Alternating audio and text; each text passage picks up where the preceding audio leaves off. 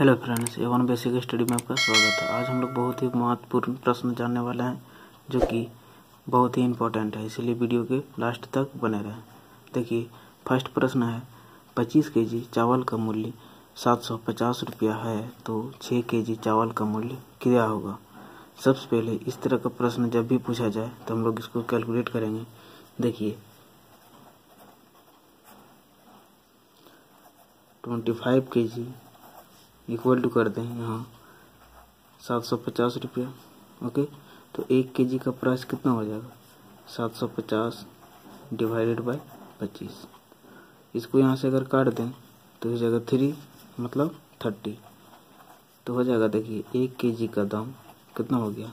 तीस रुपया ओके इसी प्रकार पूछा है कि छः के जी का चावल का मूल्य कितना होगा?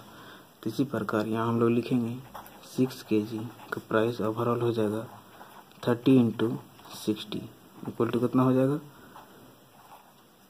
देखिए, इतना आया। सिक्स के जी पूछा तो सिक्स इंटू करेंगे तो वन एट्टी आ जाएगा।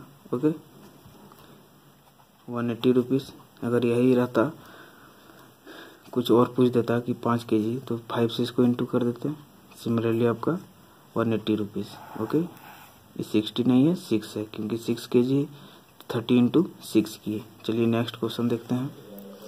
नेक्स्ट क्वेश्चन में है, देखिए, दस के जी चावल का दाम तीन सौ पचास रुपया है तो पाँच के जी का दाम कितना होगा? तो ओवरऑल इसको हम लोग उसी प्रकार कैलकुलेट करेंगे। दस के जी इक्वल टू कर देंगे तीन सौ पचास रुपया ओके तो एक के जी का दाम कितना हो जाएगा? तीन सौ पचास डिवाइडेड बाय टेन ओके? इसको यहाँ से अगर काट दें तो कितना हो जाएगा? एक के जी का दाम तीन सौ, एक के जी का दाम हो जाएगा पैंतीस रुपया।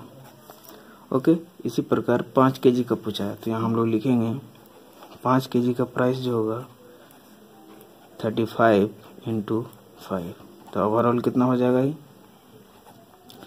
इसको यहाँ से इंटू कर देंगे तो फाइव इंटू फाइव कितना हो जाएगा? ट्वेंटी फाइव कैरी में two five into three fifteen plus two seventeen, इतना रुपया हो जाएगा, ओके? आशा करता हूँ ये आप लोग को समझ में आया होगा। Thank you